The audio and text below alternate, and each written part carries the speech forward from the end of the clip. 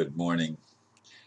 I don't know what it is that uh, makes me wake up either just before or just after midnight, but it keeps happening every day pretty much. Even though I tried to get back to sleep again this morning, I could not do so.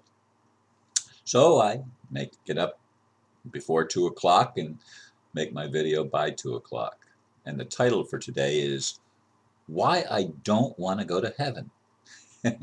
Interesting title, huh? And I start with a quote from Revelation 21 1 in the New International Version. Then I saw a new heaven and a new earth. For the first heaven and the first earth had passed away. Earth, as we have experienced it, sucks. there are lies on top of lies, and injustice reigns everywhere. In the past, many people, including me, have prayed and cried, God, get me out of here. Heaven, as we imagined it, was an escape from hell on earth. Frankly, I don't want any more escapes. I want the problems we face on earth to be corrected. I want truth and justice to prevail on a planet where love your neighbor as yourself actually means something real and tangible. I don't even want to escape my body. I want the one I have to be fully restored, made whole as it was in the beginning. I am a child of God, and it's high time that all of humanity begins to grasp and exercise that reality. And before I go on any further, I want to just give some cross references from Isaiah. This one is from 65, verse 17. See, I will create new heavens and a new earth. The former things will not be remembered, nor will they come to mind. And 66:22 As the new heavens and the new earth that I make will endure before me, declares the Lord, so will your name and descendants endure. Indeed, there were promises scattered throughout the Bible, and I imagine though I don't know them as well. I imagine they exist in the Quran.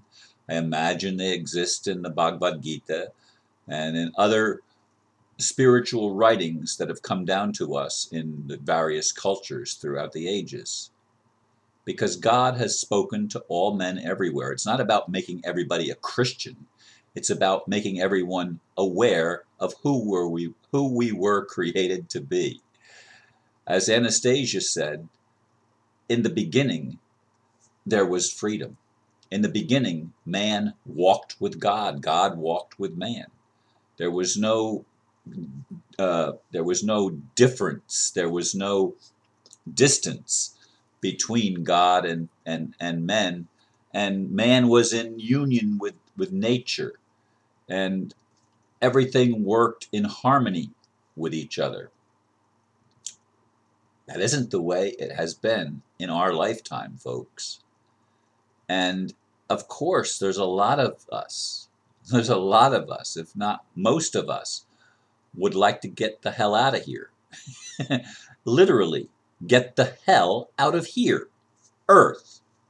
I don't just mean we want to leave, I mean we want the hell stuff to disappear, to be corrected. We want remedy for a situation that seems in, that seems overwhelming to us. And it is that that makes us want to escape. That's why people do the drugs and the alcohol and use all sorts of things as escape mechanisms because the pain of living on a planet run by criminals and demons is absurd, insane, and it must be changed. I do believe that in my lifetime I will see many of those changes start to happen. I don't think that the fulfillment of everything is going to happen necessarily in my lifetime unless I live to be in the hundreds of years old, which I'm not going to rule out because the new heaven and the new earth and my new body uh, may be able to endure a long, long, long time, certainly a lot longer than uh, than three score and ten or whatever. Um, the 70 years that that some people say is, is our lifetime. Of course, in, in Africa and in some of the third world countries, 70 would be an old person. Uh, I don't feel old, and I'm, you know, in my 70th year. Uh, I don't think I look old and decrepit like some people look that have gone through hell and back in their lives. And it wears on us.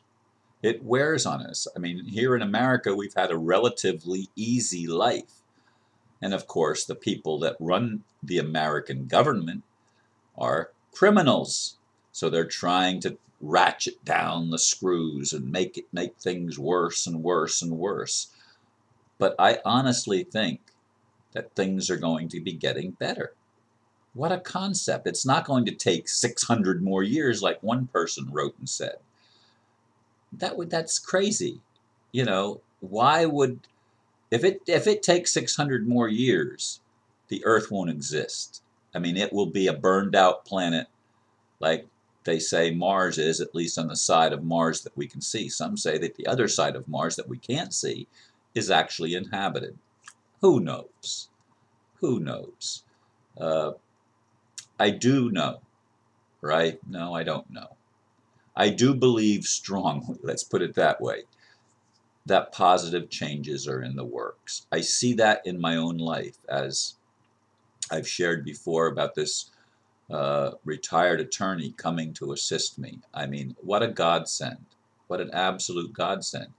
And attorneys, lawyers, one of their jobs is to transfer property. That's one of the things that they do. And they transfer that by contract, by actual physical contract, not by word of mouth agreements, but by actual contract where the where the seller and buyer are named and where there's a new ownership and it's done for ten dollars it's transferred for ten dollars. That's that's that's what it costs to transfer property. But of course we've screwed everything up. When I say we I mean the cabal has screwed everything up and made it absolute insanity absolutely crazy. And that's the world that we want to get away from. But I don't want to get away from it as much as I want to see it transformed. And I want to be part of that transformation, along with this attorney and along with others that, that have love in their hearts and, and a, a vision of what things can be instead of terrorized, being terrorized, and a vision of how terrible things are going to become. Things are not going to stay terrible once we get rid of the demons and the demon possessed human beings that that have uh, wrested control from whoever they wrested it from through our ignorance, through our apathy, through our not caring. We're going to have to become involved in in the changes that are that are coming our way. We're going to have to actually do something, and uh, freedom is not something that's just a gift that we take for granted. It's something that, that requires action. It's something that requires our commitment. It's something that requires us to be somebody, not just to to exist and to, and to you know just dance our lives away and uh, and escape like so many people have. That's that's their life. Their life is is is drinking until they don't remember how bad it is. And they try to paint a picture of, of something that isn't real. We want to make it real, tangible. The heaven, the kingdom of heaven on earth, tangible. What a concept. That's what I live for. That's why I feel that I was born. And I feel like I've known that in various degrees my entire life since I was a child. And it's still my vision. And I want it for you. I want it for your children and your loved ones. I want it for all of humanity. I want to be liberated. And on that note, I say namaste.